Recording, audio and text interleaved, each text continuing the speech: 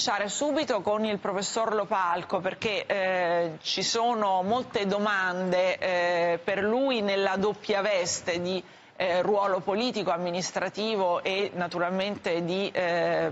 medico eh, di studioso perché ehm, siamo un po' nelle ore decisive, ancora una volta si è trascinato per tutto il weekend uno scontro fra governo e regioni ancora non eh, sanato, non risolto in vista del nuovo DPCM perché fra poco ci sarà una riunione ancora politica di capi delegazione della maggioranza con Conte ma poi un incontro con i presidenti delle regioni, sono sempre videoconferenze e poi alle 12 Conte parlerà alla Camera, alle 17 parlerà al Senato, questa sera o domani al più tardi potrebbe esserci il nuovo DPCM, il tutto in un clima con l'opposizione non proprio fantastico. Eh, nonostante un monito di Mattarella. Eh, però, professor Lopalco, vengo da lei perché le chiedo se alla fine l'orizzonte, questa partita è solo chi deve decidere di chiudere, ma sarà inevitabile poi un lockdown pesante come a marzo o no?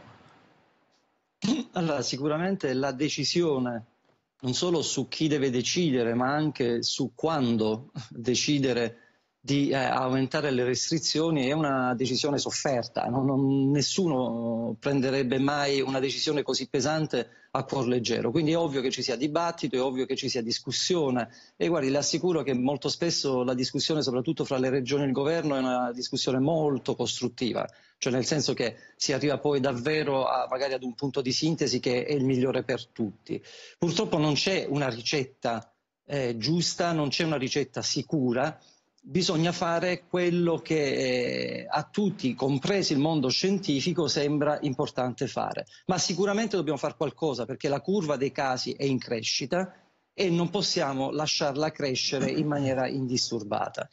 Dunque è il momento sicuramente ora di decidere. Non è facile decidere ora, anche perché qualunque misura si prenda sarà una misura impopolare ed è chiaro che quindi eh, nessun politico vara una misura impopolare a cuor leggero, ma bisogna farlo e bisogna soprattutto comunicarlo bene ai, ai cittadini, bisogna, bisogna spiegare perché si sta facendo questo, si sta facendo quello. Il tema è questo, bisogna limitare i contatti sociali, cioè bisogna eh, fare in modo, cioè prendere delle decisioni che facciano in modo che eh, la gente si incontri il meno possibile, cioè che gli scambi fra le famiglie siano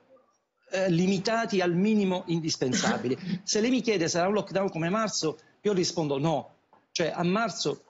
noi oggettivamente, anche come Paese, abbiamo preso delle decisioni e abbiamo compiuto delle azioni che, guardate, viste oggi, possono anche sembrare un po' eccessive.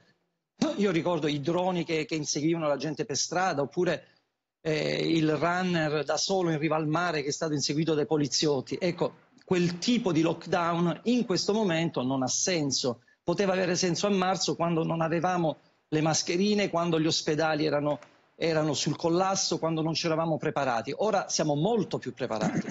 decisamente molto più preparati rispetto a marzo, quindi qualunque tipo di misura di eh, limitazione diciamo, degli incontri, dei movimenti personali può essere sicuramente eh, dire, più soft